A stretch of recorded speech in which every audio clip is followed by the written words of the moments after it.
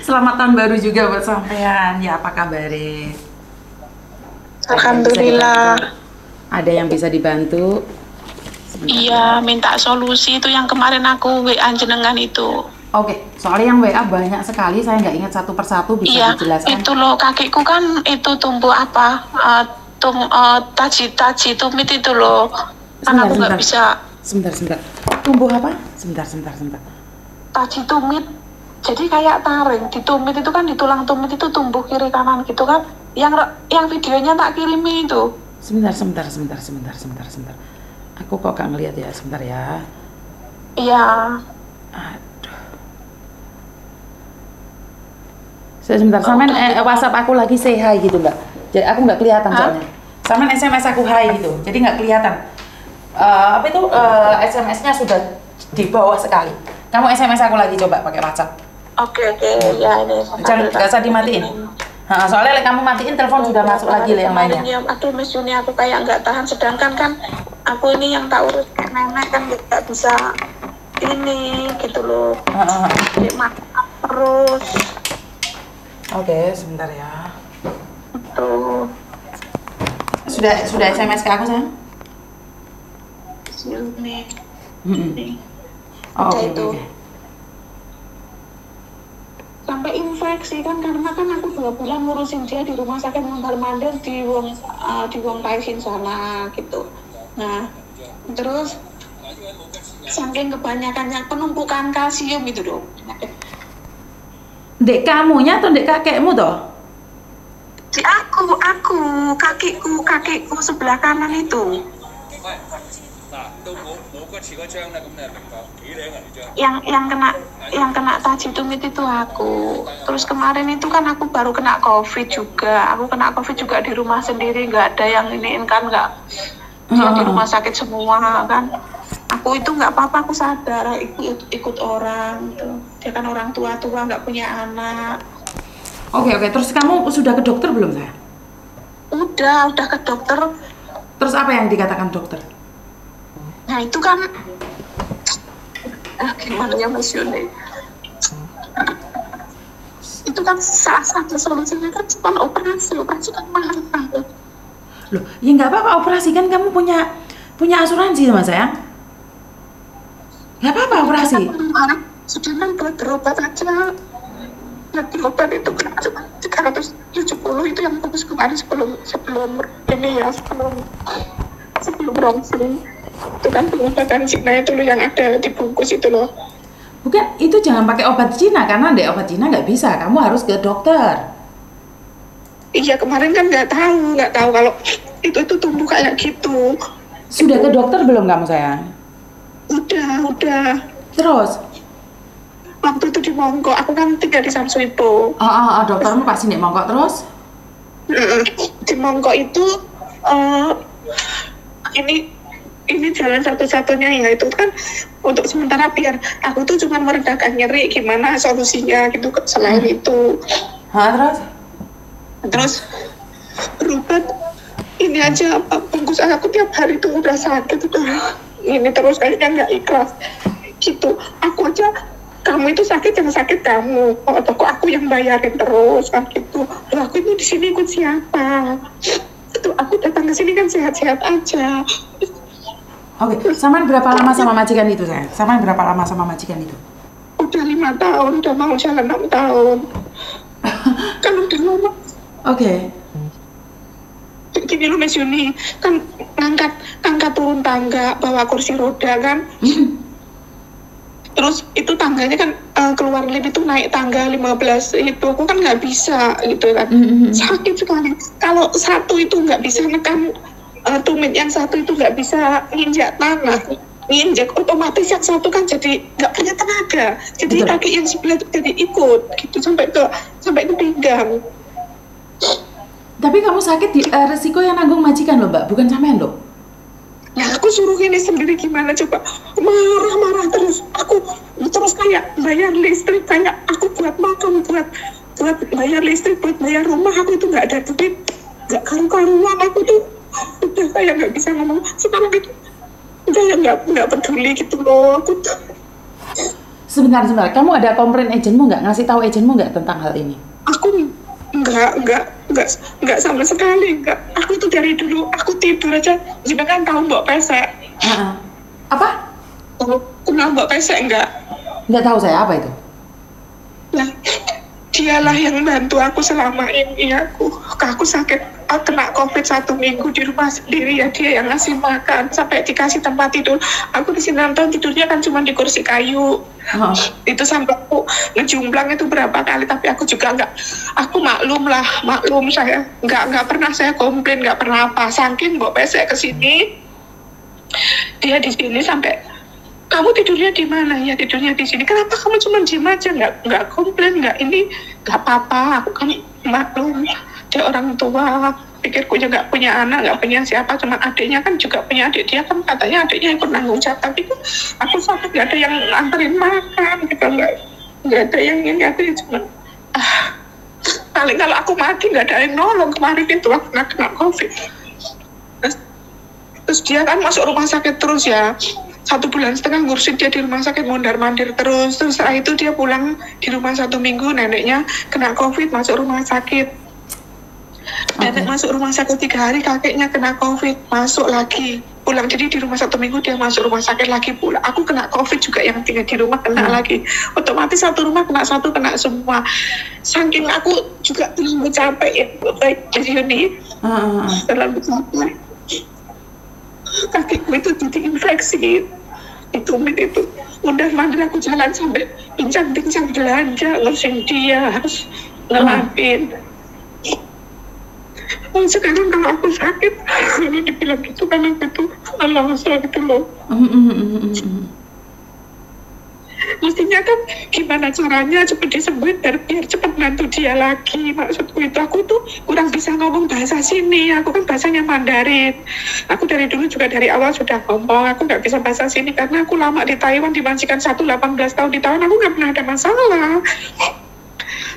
Gitu di sini terus aku kemarin sampai begini. Yang anu kalau memang nggak nggak mau di sini ya sana kerja di luar. Si neneknya kan bilang itu yang cari yang gaji banyak. Yang gaji banyak aku jangan kayak gitu. Atau aku itu gaji gaji di sini aku terima walaupun ngurusin orang tua dua. Satu ke kursi roda satu udah sayek Mm. Itu gajinya juga tetap nggak ditambahin. Dulu yang pernah ngomong ditambahin tapi sampai sekarang kan nggak pernah. Juga nggak komplain nggak apa. Tapi jangan banding bandingkan aku.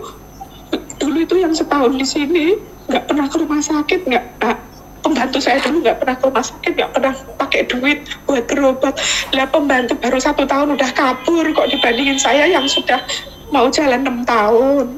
Mm, mm. aku kan juga juga aku kan bantah Mm, mm. Kok aku kok banding-banding kalau kecuali babumu dulu sudah 10 tahun nggak pernah sakit nggak pernah apa kamu bandingin sama aku nggak apa-apa. Dulu setahun aja udah kabur karena dia kabur dari sini kenapa? Aku kan juga gitu. Mm, mm, mm, mm. aku kalau kayak sudah seneng nggak seneng ya sudah. Kalau emang nggak mau ya pulangin aja ke kantor toh. Jangan kayak gitu aku suruh pergi sendiri. Suruh berobat sendiri. Badan yang punya kamu jangan aku yang ngeluarin duit semua gitu kan kalau cuma keluar sedikit aja nggak apa-apa. Aku di sini ikut siapa? Kalau nggak minta kamu minta siapa?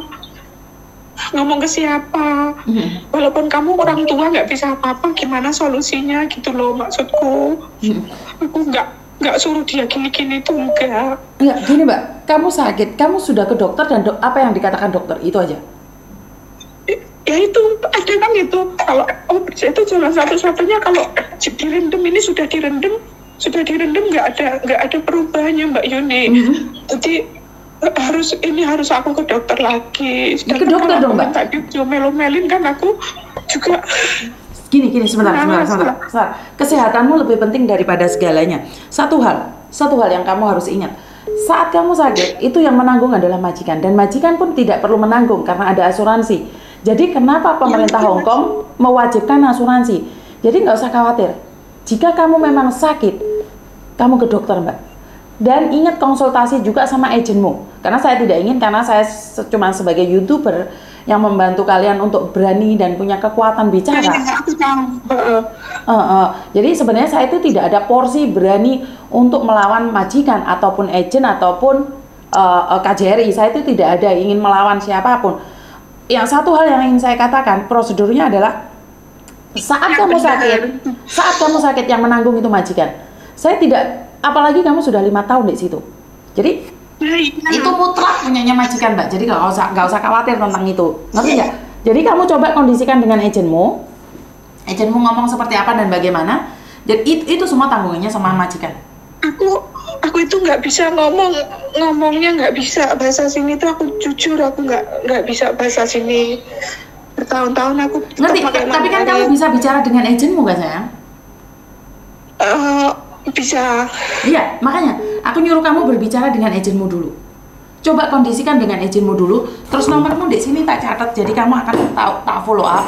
Jadi eh, sa- Iya, iya. eh, eh, jadi aku kalau aku nggak ada catatan kan aku takut. Sakit apa nak? Kamu sayang itu kaji tumit tumbuh itu kan tumbuh tulang kayak kayak taring gitu kan di tulang tumit kalau di kiri di depan sama paling belakang itu ada tumbuh taring terus itu kan kalau masuk ke daging kan otomatis belajar infeksi Oke, eh, sakit taji tumit ya. Oke, nggak apa-apa. Iya. Jadi kamu kamu coba bicara dengan agentmu, karena saya tidak boleh lancang juga ya. Kalau dibilang lancang kan ntar, Iya, eh, eh, aku cuma gimana solusinya mbak ini aku tuh ke siapa ngomong gitu loh ya kamu ngomong dulu sama agentmu. Kalau agentmu nggak ada respon, kamu datang ke KJRI. Kalau KJRI juga nggak ada respon, saya akan baru turun tangan. Jadi saya akan minta bantuan dari eh, orang luar sana yang bisa membawa kamu ke dokter. Karena saya tidak ingin terjadi sesuatu yang lebih akut lagi. Dengan bukti-bukti bahwa majikan tidak Kan nggak mengizinkan. bisa, nggak bisa jalan harus jalan sendiri. Aku bolak apa kemarin itu aku ronsen sendiri. Jalan itu jalan kaki sampai ke Tongkit itu jauh. Ya, hampir satu kilo setengah. Terus itu pulang itu langsung suruh ngambil dia disuruh ambil dia KTP di imigrasi. Aku juga sambil pincang sambil depro depro jalan kaki. Aku juga saya jalanin jalan. Oke, satu, langsung itu ngambil ronsen hmm, dan satu hal mbak, saya ingin nanya, seandainya, seandainya itu sakit banget, kamu mau pulang atau mempertahankan di sini untuk untuk bekerja dan sakit? Ya aku kan tinggal pikirku gini loh Mas Yuni Aku kan tinggal satu tahun Tinggal satu tahun lagi kan udah finish Aku tuh gak mau cacat Yang apa eh, Istilahnya Aku belum gak finish kontrak Sampai putus itu enggak Oke. gitu Aku Oke. kemarin juga Waktu di majikan Yang kemarin dihomatin aja Majikanku kurang ajar mau itu barangnya ditempel-tempel ke pantat itu yang penting aku satu kuncinya yang penting dia nggak turun tangan ke aku itu aku tak kuat-kuatin sampai ke finish Enggak, kan beda pindah Sekarang kamu itu sakit sayang. Kamu itu sekarang sakit. Bukan saya mau, mau nyuruh kamu bertahan sampai finish. Tapi pertanyaan saya, kamu itu sakit sekarang. Apakah kamu akan bertahan, tetap bertahan di sini atau kamu memilih pulang?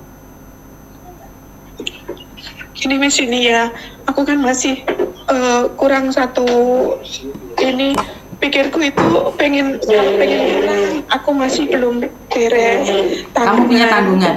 ya Kamu punya aku tanggungan. masih pengen eh, punya tanggungan sampai kurang 10 bulan lagi di sini Oke, ya udah kalau kalau memang punya tanggungan kan saya tidak bisa memaksakan. Jadi karena kalau kamu sakit tidak bisa diintervensi. Iya beres dulu jangan sampai kita itu cacat karena kayak begituan kan kita nggak tanggung jawab Oke oke berarti ya coba kamu hubungi eh, agentmu dulu. Eh, tak kasih waktu 3-4 hari ntar kamu tak telepon lagi dan tak follow up. oke oke Ah, jadi kalau kamu tidak bisa bahasa atau apa nomormu sini sudah tak tak tak simpen jadi saya tahu ntar pasti tak follow up lagi. Ah, ah, namaku Nurul Nurul nggak apa-apa. Kamu Iya. kenapa kamu nyebut namamu? Soalnya saya nggak butuh namamu. Ini masuk di YouTube sama di Facebook sud- sudahlah. Miss Yuni nggak bisa delete loh. Nggak apa-apa ya. iya iya nggak apa-apa Mas Yuni Ah, ah, ah. terima kasih banget Iya wes. Coba kamu hubungi agentmu dulu.